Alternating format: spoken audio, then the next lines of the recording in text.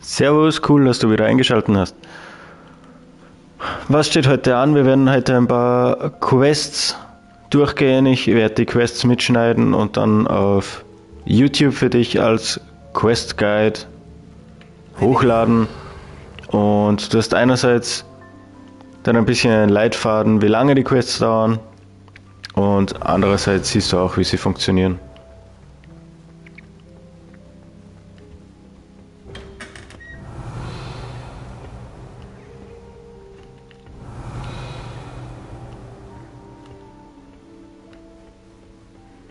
Ich sollte mich vielleicht mal vorstellen.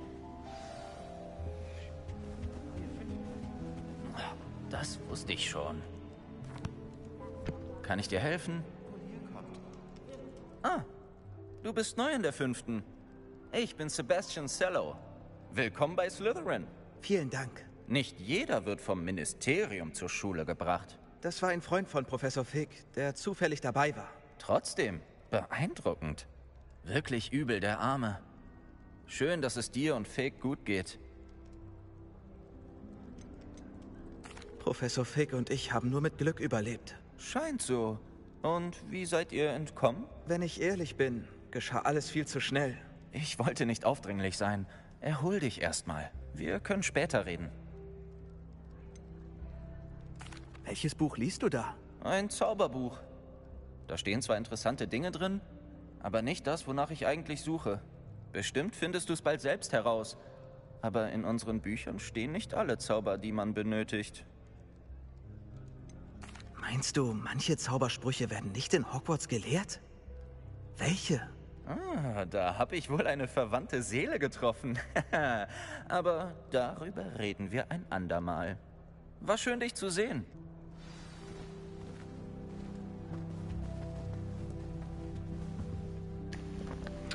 So, jetzt mal weiter zu den anderen beiden. Da ziehst du doch nicht hin, oder? Hier, aufgepasst.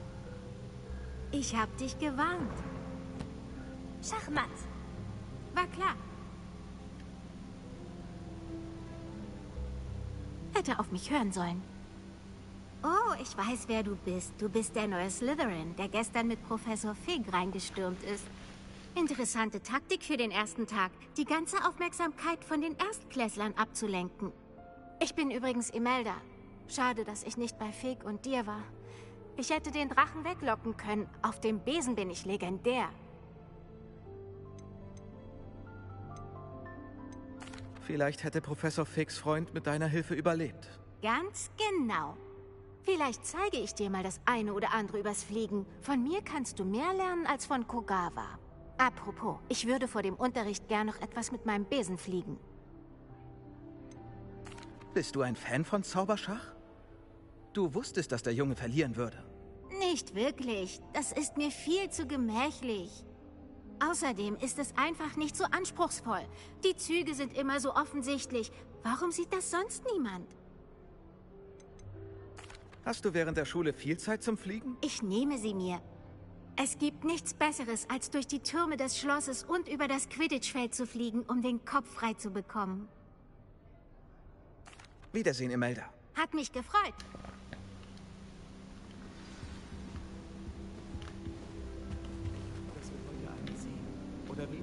Ich, ich glaube, ich habe was gehört. Hm. Nixon interessieren sich wohl kaum für uns. Ah, dem Gemurmel nach, als du in den Gemeinschaftsraum kamst, bist du wohl der neue Fünftklässler. Ich bin Ominous. Ominous Gaunt. Hat mich gefreut, Ominous. Deine Ankunft war gewiss denkwürdig. Ich wäre lieber pünktlich und ohne einen Drachenangriff angekommen. Das glaube ich. Furchtbar. Ich kann es mir vorstellen. Also schön, dich in Slytherin zu haben. Lass mich wissen, ob ich dir in den ersten Tagen hier behilflich sein kann. Hast du erwartet, dass du nach Slytherin kommst? Auf jeden Fall. Meine Familie väterlicherseits stammt direkt von Salazar Slytherin ab. Einem der vier Gründer von Hogwarts. Darauf bin ich wohlgemerkt nicht sonderlich stolz. Er war besessen von seinem Blutstatus. Ein Reinblutfanatiker. Leider sind die meisten seiner Nachkommen von einem ähnlichen Schlag. Meinte dieser Schüler eben, dass er eine Nixe gehört hat? Ja, aber ich habe noch nie von einer Nixe vor dem Gemeinschaftsraumfenster gehört. Es macht aber Spaß mitzuspielen. Einige Erstklässler halten bekanntlich stundenlang Ausschau. Danke, Ominous. Hat mich sehr gefreut. Das Vergnügen war ganz meinerseits. Bis dann. Ist der Slytherin-Neuzugang aus der fünften Klasse hier? Professor Weasley wartet bei der Treppe auf dich. Revelio.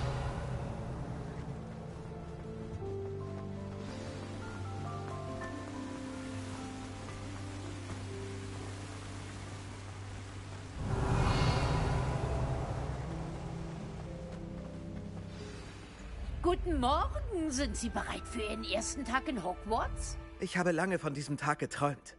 Nicht zu fassen, dass ich hier bin. Nun, das sind Sie. Machen Sie das Beste daraus. Hm, man hat nur einen ersten Tag in Hogwarts. In Anbetracht Ihrer besonderen Situation als Neuzugang in der fünften Klasse müssen Sie einigen Stoff aufholen, um nicht zurückzubleiben. Vor allem da von Ihnen erwartet wird, am Ende des Jahres Ihre ZAGs abzuschließen. Äh, ZAGs? Ja, Zauberer allgemeinen Grades. Diese Prüfungen entscheiden über ihre beruflichen Möglichkeiten. Nach diversen Diskussionen mit dem Schulleiter und der Abteilung für magische Ausbildung des Ministeriums haben wir etwas Außergewöhnliches hervorgebracht, um ihren Erfolg sicherzustellen. Bitte sehr.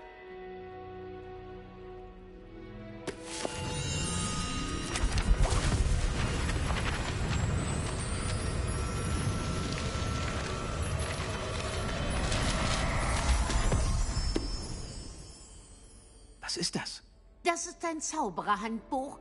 Darin können Sie Erlerntes festhalten, um alles, was von Fünftklässlern erwartet wird, zu meistern.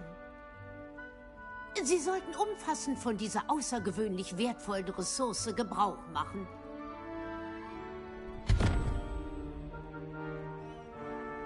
Danke, Professor. Aber was meinten Sie mit nachvollziehen, was ich gelernt habe? Vielleicht erhalten Sie Ihre Antworten, wenn Sie es in Aktion sehen. Folgen Sie mir und wir stellen es auf die Probe. Hier. Revelio.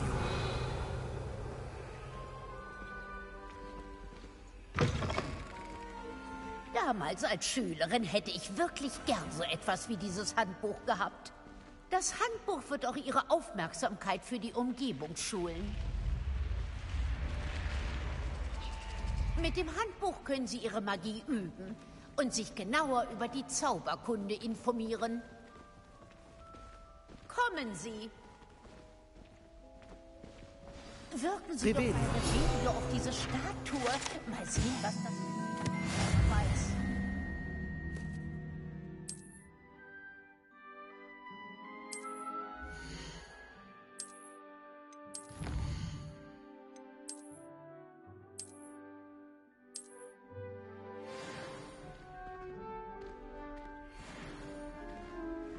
Die Augen nach weiteren Gelegenheiten offen. Im Schloss und auch außerhalb.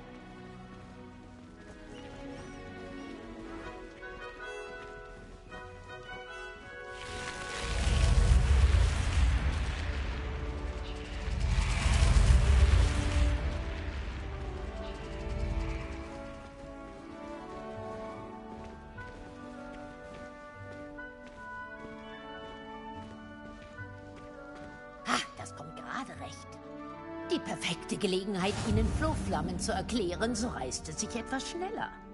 Ihr Handbuch enthält eine Karte des Schlosses. Öffnen Sie sie und suchen Sie die Haupthalle.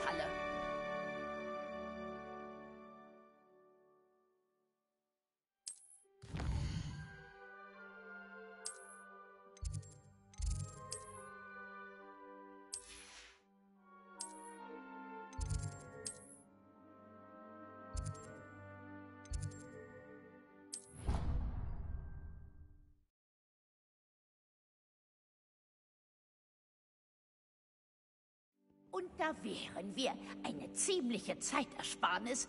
Diese Treppe führt direkt zur Haupthalle. Von der Haupthalle aus gelangen Sie schnell an fast jeden Ort im Schloss. Hier ist immer etwas los. Das Herz des Bienenstocks. Unser King's Cross sozusagen. Das reicht erst einmal. Sie haben heute noch Unterricht in Zauberkunst und Verteidigung gegen die dunklen Künste. Und ich möchte, dass Sie schnellstmöglich Hogsmeade aufsuchen, um zu kaufen, was Sie auf dem Weg verloren haben. Was werde ich in Zauberkunst lernen? Das, wonach es klingt. Zaubersprüche, Zauberkunst, Flüche. Alles sehr nützlich. Professor Ronan werden Sie bestimmt mögen. Er ist ein schlauer, unterhaltsamer Zauberer und ein guter Lehrer. Könnten Sie mir mehr über Verteidigung gegen die dunklen Künste erzählen? Verteidigung gegen die dunklen Künste befasst sich, wie der Name sagt, mit der Verteidigung gegen das Böse, das jenseits dieser Mauern lauert. Um Auror zu werden, ist es erforderlich, die Verteidigung gegen die dunklen Künste zu beherrschen. Zum Glück haben wir, was das betrifft, mit Professor Hackett eine talentierte Lehrerin für unsere Schüler. Sie erwähnten Hogsmeade, Professor. Hogsmeade ist das einzige Zaubererdorf in Großbritannien mit zahlreichen Geschäften und Kneipen. In Hogsmeade werden Sie mit Sicherheit alle Schulsachen finden, die Sie benötigen. Und bestimmt werden Sie dort auch viel Butterbier mit Ihren Freunden genießen. Danke, Professor Weasley. Das ist viel für den ersten Tag. Und Sie werden noch sehr viel mehr lernen müssen. Netterweise haben Ihre Professoren zugestimmt, Ihnen außerschulische Aufgaben zu geben. Sie werden rasch aufholen. So versiert, wie Sie Revelio eingesetzt haben, dürfte Professor Figge Ihnen zumindest die Grundlagen beigebracht haben. Das hat er, Professor. Er hat nur sehr wenig über die Ereignisse vor Ihrer Ankunft erzählt. Vor allem, was diesen schrecklichen Drachenangriff angeht. Ich vermute, es geht bei der Sache um mehr als die Suche nach Besitztümern und eine ausgedehnte Reise zum Schloss. Wir haben auf dem Weg hierher einen kleinen Umweg gemacht, ein paar Ruinen erkundet und äh, mehr sollte ich nicht sagen. Ruinen erkundet? Tja, Professor Figge hat vermutlich seine Gründe, die Details für sich zu behalten. Wenn man vom Teufel spricht. Professor Figg, Ihnen müssen wohl die Ohren klingen. Oh? Ja, Sie scheinen unserem Neuling eine solide Grundlage in einfacher Zauberei vermittelt zu haben. Oh, ich fürchte, das ist nicht allein mein Verdienst. Unser Neuzugang hat eine seltene Begabung für Magie, wie es scheint. Hm. Nun, ich bin froh, dass Sie beide heil angekommen sind. Es gibt sehr gute Boote und Kutschen nach Hogwarts, aber Sie kreuzen lieber den Weg eines Drachen. Ich würde nicht sagen, dass ich den Weg des Drachen wählte. Vielmehr scheint es leider, dass er uns wählte. Nun gut, genug geplaudert. Ich muss selbst zum Unterricht. Kann ich darauf zählen, dass Sie die Karte im Handbuch erklären, Professor? Natürlich. Danke. Viel Glück heute. Und denken Sie an Ihr Handbuch. Es ist von unschätzbarem Wert für Sie. Ebenso für mich übrigens. Denn ich kann damit Ihre Fortschritte beobachten. Ja, Professor. Kommen Sie doch heute nach dem Unterricht in mein Klassenzimmer. Dann werde ich Ihnen mehr über die erwähnten Aufgaben erzählen. Und dann sehen wir, ob wir Sie zum Einkaufen nicht nach Hogsmeade bekommen.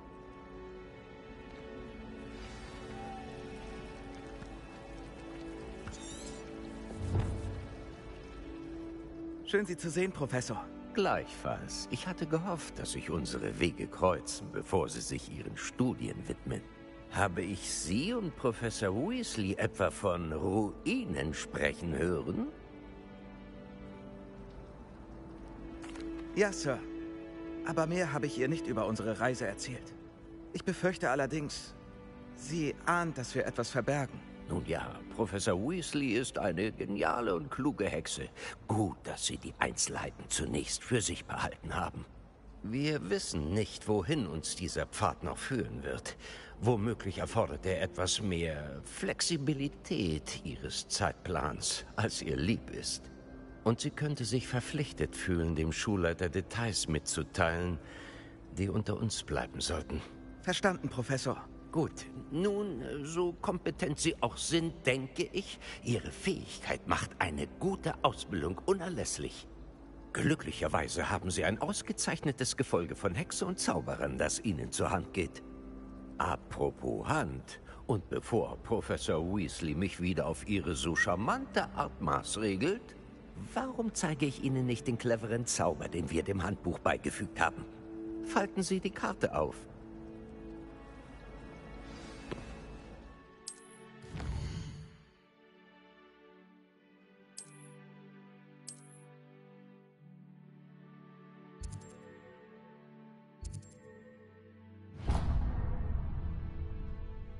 Die Karte ist verzaubert und weist Ihnen den Weg. Das wird mir sicher weiterhelfen.